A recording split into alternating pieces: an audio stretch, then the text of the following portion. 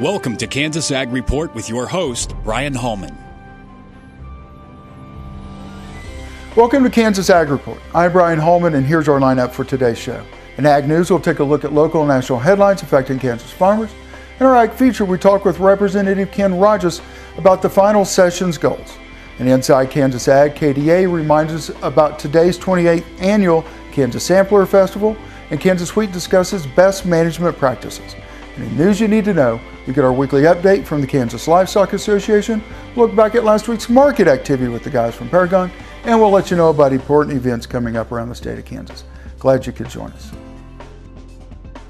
Closed captioning brought to you by The Soybean Checkoff. Progress powered by Kansas farmers. KansasSoybeans.org.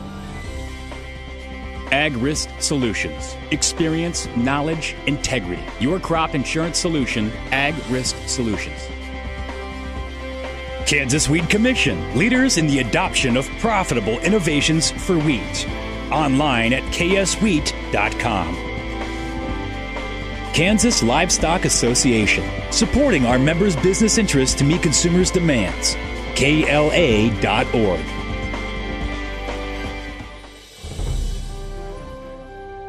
Here's our national headlines for this week in Ag News. The National Biodiesel Board applauded the introduction of a bipartisan biodiesel tax credit bill that would convert the blender's credit for biodiesel to a dollar per gallon production credit for fuel producers in the U.S. for three years. The bill provides an additional 10 cents per gallon credit for small U.S. biodiesel producers. NBB is the U.S. trade association representing the entire biodiesel value chain, including producers, feedstock suppliers, and fuel distributors, as well as the U.S. renewable diesel industry. The USDA says cash receipts for milk marketing in 2016 were 34.5 billion, down 3.3% from 2015, while marketings were up 1.8% at 211 billion pounds. Milk averaged $16.34 per hundredweight, down 5% on the year.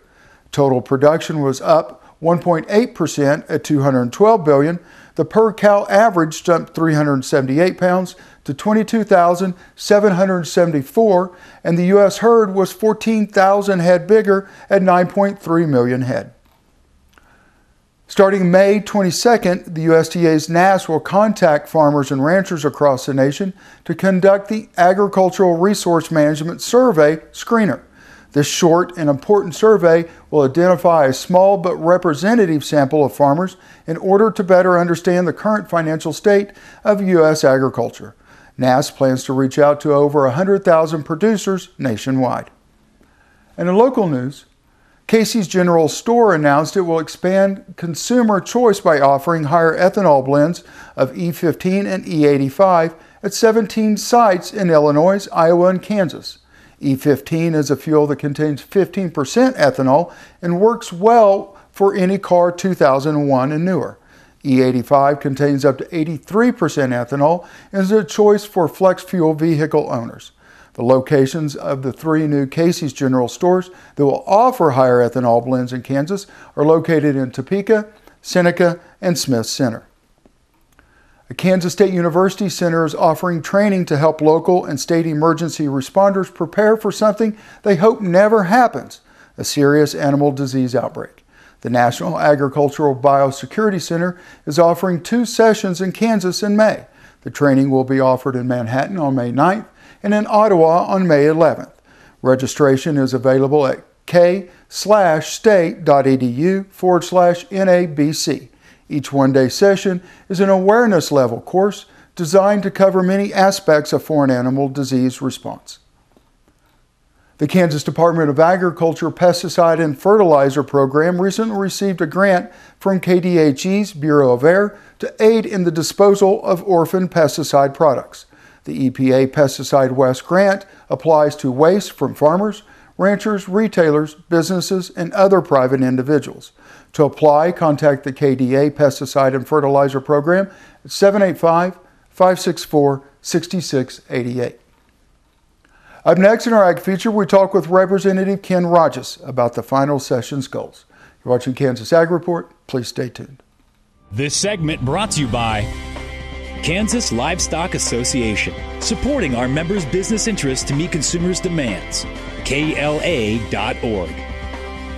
Ohlde Seed Farms, carrying soil specific seed. Find them on the web at ohldeseed.com. That's O H L D E seed.com. Grass and Grain, online or in the mail, keeping Kansas farmers informed for over 60 years. Grassandgrain.com. Kansas Wheat Commission, leaders in the adoption of profitable innovations for wheat. Online at kswheat.com.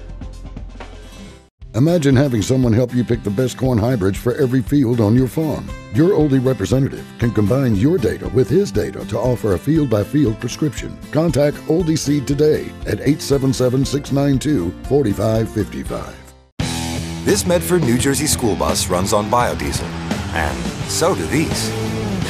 In fact, all of these buses run on clean burning biodiesel, which is great because the more we use biodiesel in our heavy duty vehicles, the less carbon pollution in our air.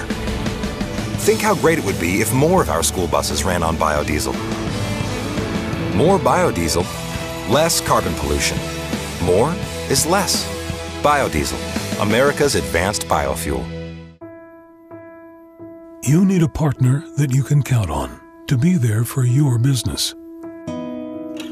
Providing a depth of understanding to risk management issues so you don't have to a knowledgeable support team located in your area, delivering products and services to make you more successful.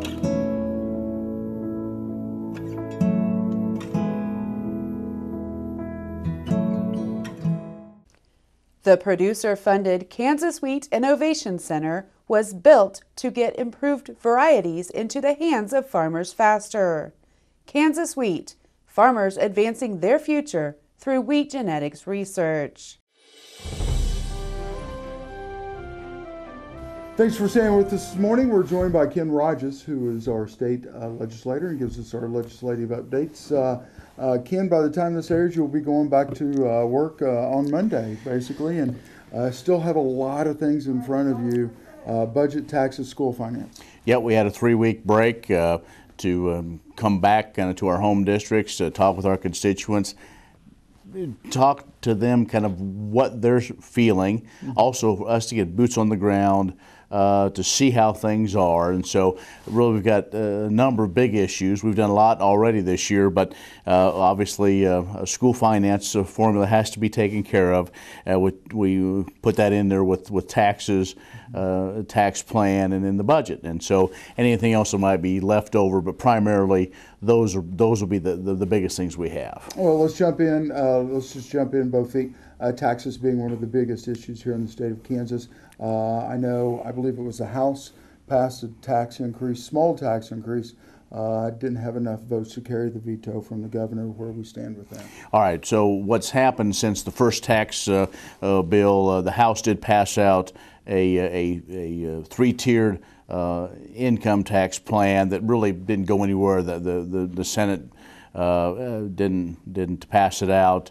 Uh, uh, or I guess they did, and, and, and the, the governor vetoed it, so we kind of started all over again. Uh, since that time, the House has passed out a flat tax proposal, has not had a vote yet, mm-hmm. but the Senate did. Uh, working with the governor. It was a 4.6% flat tax. Uh, it was soundly defeated, 3 to 37. And so, really, in the process of, of determining is that the best way to go, the governor has come out and said maybe the flat tax would be the best way to go. So, it looks like, Brian, as we come to some sort of a, a, uh, a kind of new tax plan, uh, the, the, the LLC situation, the pass through income tax, those type of provisions will go away. If I was to guess, I would say that something in agreement will, will probably go back to that two to three tiered uh, tax plan. Uh, I would like to see something if, if we do have to do that uh, to put some sunsets in it to, to have us continually work on it.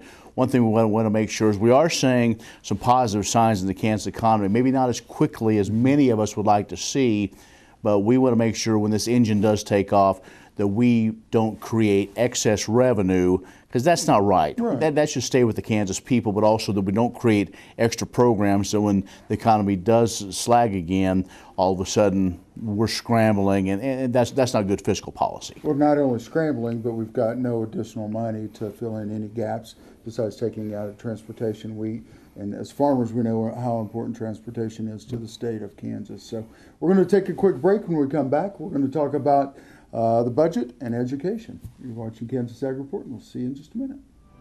This segment brought to you by Farm Bureau, a grassroots ag organization representing the state's farmers and ranchers since 1919. KFB.org. Ohlde Seed Farms, carrying soil specific seed. Find them on the web at ohldeseed.com. That's O H L D E seed.com.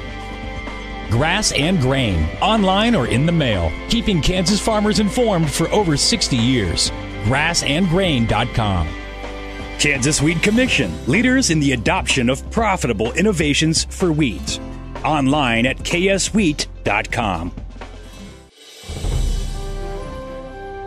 Thanks for staying with us. We're joined by Ken Rahjes, our state legislator, and uh, we're getting our uh, our last update before we go into the final push in the session and trying to get a budget done, school finance. And let's talk about school finance. We kind of talked about taxes and budget in the first segment.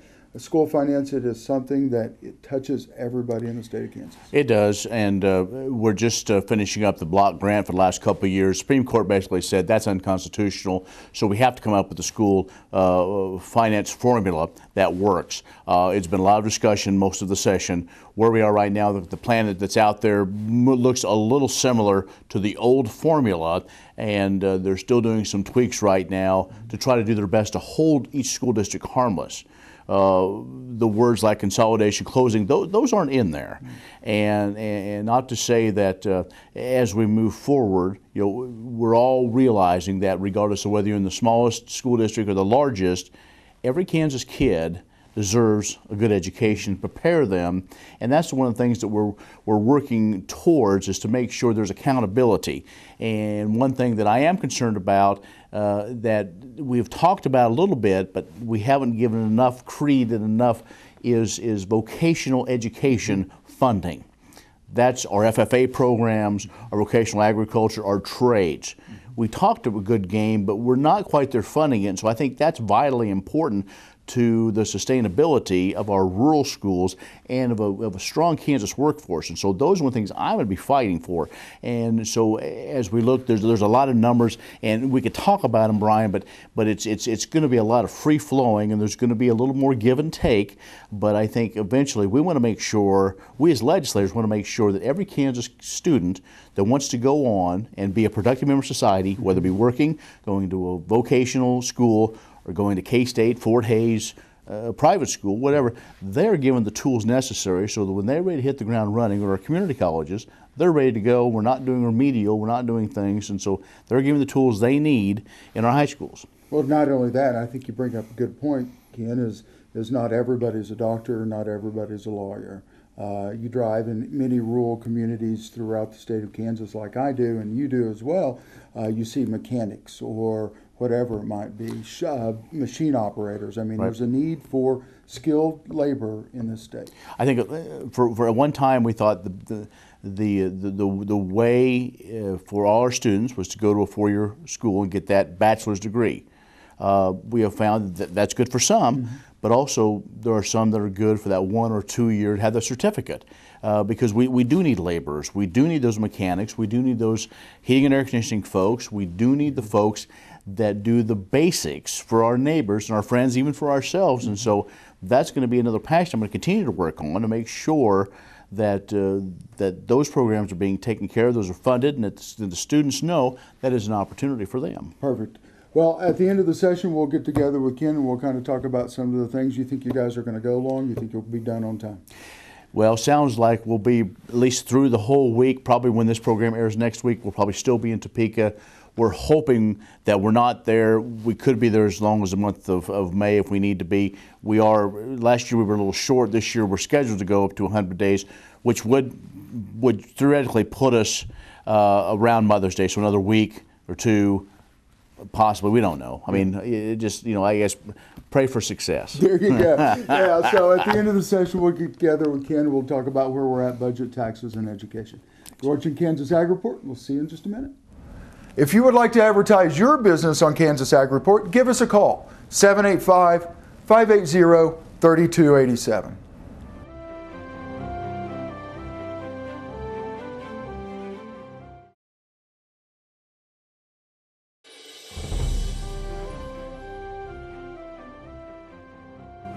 Kansas is full of amazing products and experiences, and one of the best places to learn about all of them is the Kansas Sampler Festival. I'm Lexi Wright, and I work with the From the Land of Kansas program at the Kansas Department of Agriculture. From the Land of Kansas works to help businesses promote their Kansas products. This spring, several of our members will be featured at the 28th annual Kansas Sampler Festival at Island Park in Winfield on May 6th and 7th. From the land of Kansas, we'll have our own tent at the festival for visitors to sample and purchase products from great Kansas companies, including Hildebrand Farms Dairy from Junction City, Jams by Judy from Russell, Prairie Harvest from Newton, Beaver Creek Farm from Dexter, Flint Hills Aromatherapy from Atlanta, Hoganville Family Farms from Olathe, and Wright Farm Sunflower Oil from Bird City. In addition, Fisher Rocks from Belleville and K&R Enterprise from Cheney will ha each have their own display just outside the From the Land of Kansas tent. The Kansas Department of Agriculture is proud of these Kansas businesses, and we are excited to support the economic growth these companies contribute to the Kansas agriculture industry. The festival is a wonderful opportunity to sample everything there is to see, do, buy, taste, hear, and learn in the state of Kansas. For more information or to view a list of exhibitors, visit www.kansassamplerfestival.com. If you love experiencing everything Kansas has to offer, you'll love the Kansas Sampler Festival and the From the Land of Kansas products you'll find there. Researchers at Kansas State University are coming together to help farmers get a bigger bang for their buck by finding management practices that can increase yields while still preserving the land. Romulo Lollato, wheat and forages production agronomist with K-State Research and Extension, says after performing long-term research of the yield potential in the region, we have found that we have a yield gap that can be reduced through management. This yield gap being the difference between what we produce now compared to what we could potentially produce. Loyato and his team have previously performed related research that shows the possibility for yields in central Kansas to increase about 10 to 20 percent while still maintaining profitability and stewardship of the land. The next step of the research is to determine exactly which management practices should be improved to accomplish that. In addition, the research shows that there's approximately a 30 to 35 bushel per acre yield gap between current yields and the yield potential, largely due to substandard wheat management practices. Lollato says we have a very low input control, which is representing our average farmer. And then on the other extreme of things, we have a very high input crop where we have several improved management practices. By using this approach, Lollato and his team will be able to differentiate wheat yields resulting from intensive management practices as opposed to those from standard management. This segment brought to you by Farm Bureau, a grassroots ag organization representing the state's farmers and ranchers since 1919. KFB.org. Ohlde Seed Farms, carrying soil specific seed. Find them on the web at ohldeseed.com. That's O H L D E seed.com. Grass and Grain, online or in the mail, keeping Kansas farmers informed for over 60 years. Grassandgrain.com. Kansas Wheat Commission, leaders in the adoption of profitable innovations for wheat. Online at kswheat.com. Premier Farm and Home has what you need to make your lawn the best in the neighborhood. Hi, I'm Ken. We choose Premier Farm and Home for the professional look that we do ourselves. Feel free to stop in. You can also visit our website at heycow.com. I will take action against herbicide resistant weeds. I will know my weeds, and I will stop them before they go to seed. I will do whatever it takes to give my crops the upper hand. And I will use multiple herbicide sites of action because every action counts. I will take action, this time for all time. You need a partner that you can count on to be there for your business. Providing a depth of understanding to risk management issues so you don't have to. A knowledgeable support team located in your area, delivering products and services to make you more successful.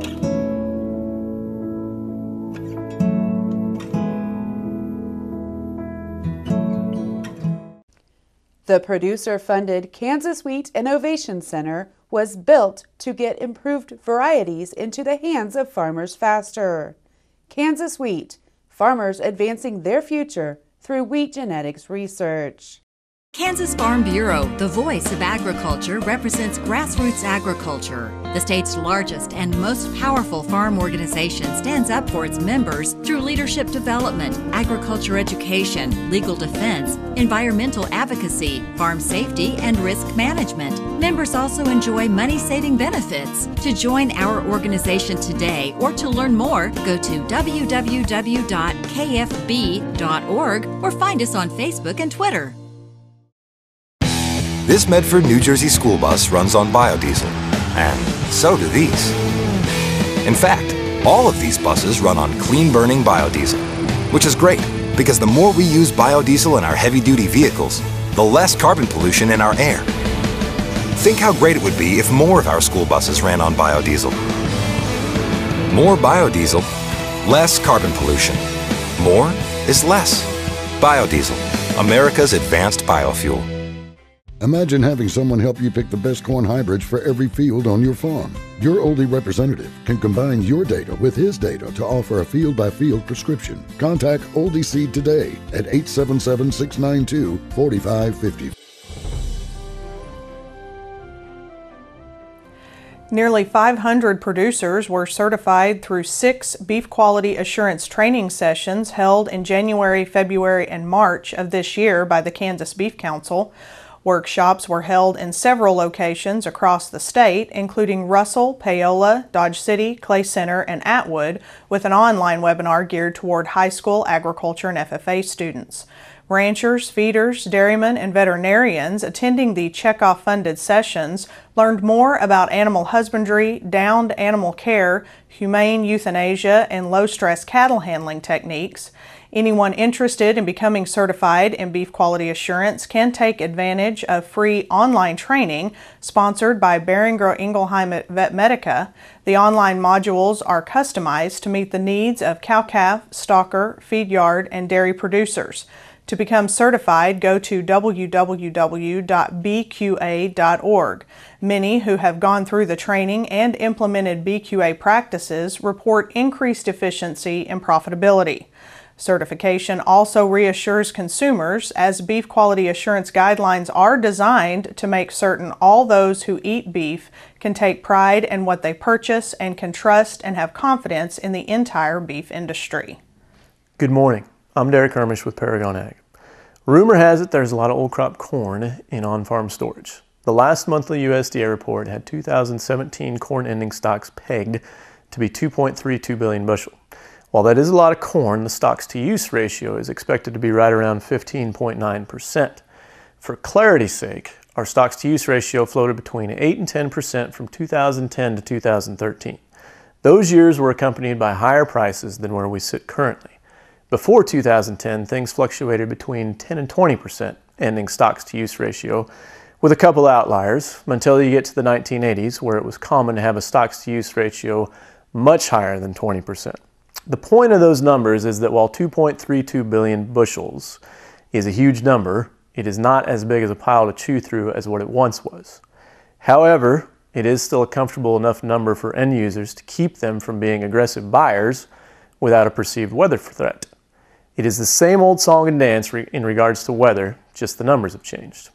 Maybe a bigger question looming is the U.S. farmer solvent enough to carry over 2.32 billion bushels of corn into next year? Some of them are certainly, but we are several years removed from $7 corn. Input prices have come down, but not enough to combat $3 corn without an above average harvest. Hopefully, a bountiful soybean harvest from the past year combined with profitable prices is enough to prevent a rush for the exit door on old crop corn later this summer. But a guy probably ought to check into his personal solvency before testing those waters. I'm Derek Ermish. Have a good day.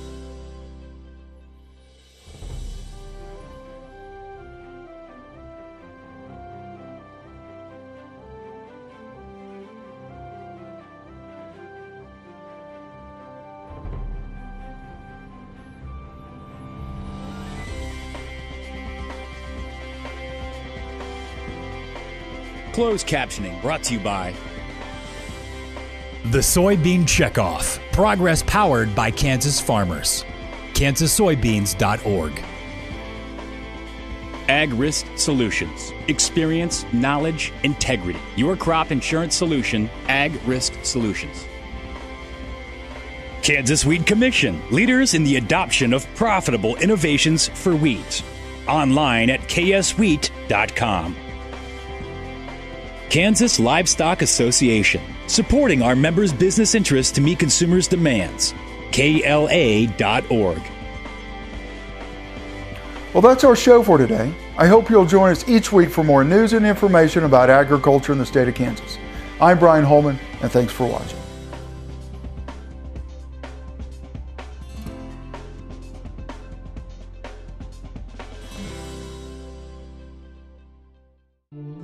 I will take action against herbicide-resistant weeds.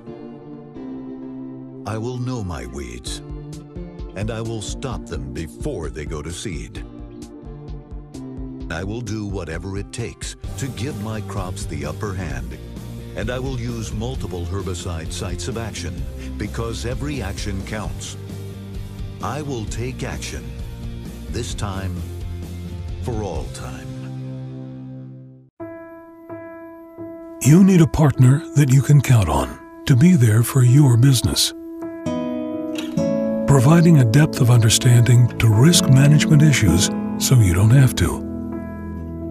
A knowledgeable support team located in your area, delivering products and services to make you more successful.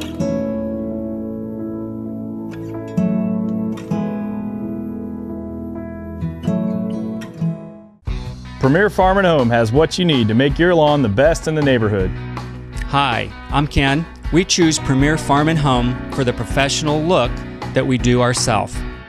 Feel free to stop in. You can also visit our website at heycow.com.